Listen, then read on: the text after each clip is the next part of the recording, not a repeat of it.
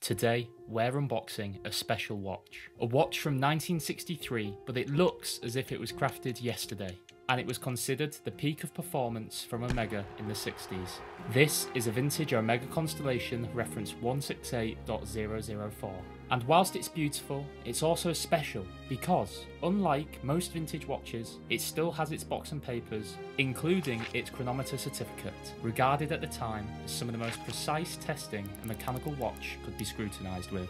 So, yes, it looks the part, but by buying this watch, you are buying into a part of Omega pedigree. The constellations aren't necessarily rare, but to find them looking like this 50 years later is. This watch and more at wattsonwatches.co.uk.